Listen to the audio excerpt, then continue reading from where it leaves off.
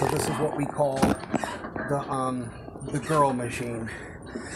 My friend Jimmy over there calls it the girl machine. That's my tile, my tile friend. Um, who gave me these awesome Nikes. So we call we call this the. Duty calls, dog. See what I'm talking about? Keep it open so it airs out. Um, we call this the girl machine.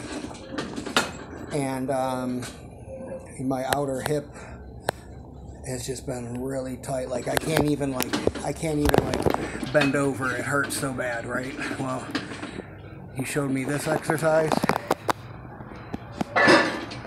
It's funny. I've been at a gym where there's like a mirror right here, like some pervert. So you just kind of just do that, and it.